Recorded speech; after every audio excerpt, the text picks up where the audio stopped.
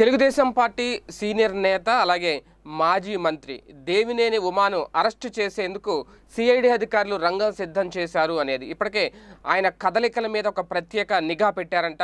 ఆయన ఎక్కడున్నారు అనేది ఆల్మోస్ట్ వాళ్ళకి తెలిసిపోయింది. రేపో మాపో అరెస్టుకు రంగం సిద్ధం చేస్తున్నారు అంటూ సోషల్ మీడియాలో ఇప్పుడు కొన్ని వార్తలు వైరల్ అవుతున్నాయి. ఎందుకంటే ప్రధానంగా ఆయన అంటే తెలుగుదేశం పార్టీకి చెందిన కీలక నేతల్లో అచ్చెన్నాయుడు గారిని ఆల్రెడీ ఒక స్కామ్లో అరెస్ట్ చేసి జైల్లో పెట్టడం జరిగింది.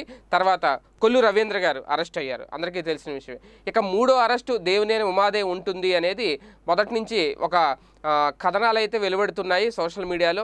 అది చివరికి అదే పని జరిగింది. అంటే మరి ఆయన కానీ ఆయనకు ఆయన ఎరక్కబోయి ఇరుక్కున్నారు. ఒక మార్ఫింగ్ వీడియోను జగన్మోహన్ రెడ్డి గారు మాట్లాడారు అంటూ దాన్ని తిరుపతి ఎన్నికల ప్రచారం సమయంలో బయటపెట్టడం దాని మీద ఫిర్యాదు చేయడం సిఐడీలకి సిఐడి అధికారులకి దాని మీద వాళ్ళు కేసు నమోదు చేయడం ఆయన్ని అరెస్ట్ చేసేందుకు ఇప్పుడు సిద్ధం కావడం. అంటే ఆల్రెడీ రెండుసార్లు నోటీసులు ఇచ్చినా సరే విచారణకు హాజరు కాకపోవడంతో మూడోసారి నోటీసులు ఇవ్వడానికి ప్రయత్నిస్తే ఆయన అందుబాటులో లేకపోవడం ఫోన్ స్విచ్ ఆఫ్ చేయడం ఒక రకంగా చెప్పాలంటే ఆయన పరారీ అవడం. అంటే ఇక్కడ రాజకీయంగా చేసే విమర్శలు రాజకీయంగానే చేస్తున్నారు రాజకీయ నాయకులు వైసీపీ నాయకులు కానివ్వండి లేదంటే తెలుగుదేశం పార్టీ నాయకులు అయితే ఎందుకు మా నేతలను టార్గెట్ చేస్తుంది వైసీపీ ప్రభుత్వం అనేది. అయితే ఒక రకంగా నిజంగా తప్పు చేయకుండా ఉండుంటే మార్ఫింగ్ చేయకుండా ఉండుంటే అది ఒరిజినల్ వీడియో అయితే ధైర్యంగా సిఐడికి ఆధారాలు సమర్పించాలి సిఐడి విచారణ ఎదుర్కోవాలి. అలా కాకుండా పారిపోవడం అనే దాని మీదే ఇప్పుడు కొత్త అంశం వెలుగులోకి వచ్చింది అంటే ఆయన్ని ఖచ్చితంగా ఇంకా అరెస్ట్ చేసి తీరతారు అనేది. నిజంగా తాను తప్పు చేయలేదు అనుకుంటే ఎప్పుడో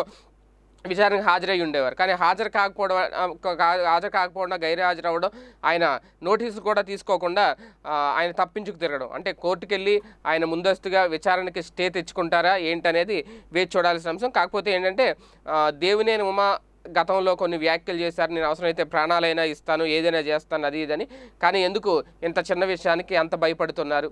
నిజంగా ఆయన నిజాయితీ పరుడే అయ్యుంటే ఉంటే ఆయన చేసింది కరెక్ట్ అని అనుకుంటే సిఐడి విచారణ ఎదుర్కొంటే అయిపోతుంది కదండి. దీని మీద ఆ పార్టీ శ్రేణులు కూడా పెద్దగా మాట్లాడే ప్రయత్నం అయితే చేయట్లేదు. ఆయన ఎక్కడ వెనకేసి రావట్లేదు. చంద్రబాబు గారు కూడా ఈ విషయం మీద నోరు విప్పలేదు. అక్కడే అర్థమైపోతుంది ఏం జరిగింది అనేది. మొత్తానికి సిఐడి అధికారుల నుంచి అందుతున్న ఇన్ఫర్మేషన్ ప్రకారం చూసుకుంటే కనుక ఒక టీము ఆయన మీద ప్రత్యేక నిఘా పెట్టింది. దేవినేని ఉమా ఎక్కడున్నారు అనే దాని మీద ఆల్ ఆల్మోస్ట్ ఆయన ఆచూకీ లభ్యమైంది. అతి త్వరలోనే ఆయన్ని అరెస్ట్ చేసే అవకాశం ఉంది అనేది ప్రధానంగా అందుతున్న సమాచారం. ఈ వీడియో గనుక మీకు నచ్చినట్లయితే లైక్ చేయండి షేర్ చేయండి. మరిన్ని వీడియోస్ కోసం మా ఛానల్ను సబ్స్క్రైబ్ చేయండి.